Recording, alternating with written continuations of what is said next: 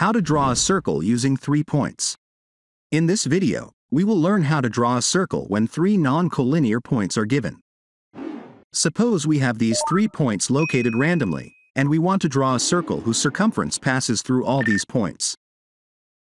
To do this, take a compass and, considering any two points, adjust the compass to more than half the distance between these two points. Using these two points as centers, draw arcs as shown.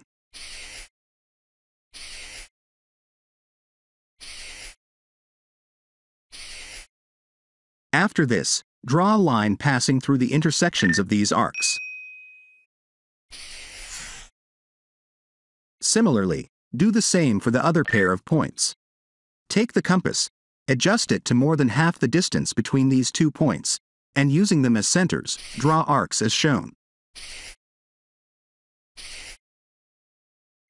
Then draw a line passing through the intersections of these arcs as well. Now, we have these two perpendicular bisectors which intersect at this point. This point will be the center of the required circle that will pass through all three points. Take the compass, place it on this center point, and adjust its length to one of the points. Draw a circle, and you will see that the circle passes through all three points.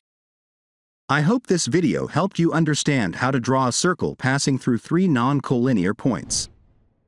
If you liked this video, click on the like button. If you are new to my channel, ADTW Study, click on the subscribe button to get all my latest videos.